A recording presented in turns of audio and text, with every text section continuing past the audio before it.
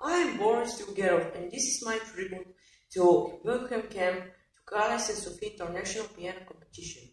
I have played Tic Toc Choc from Couperin.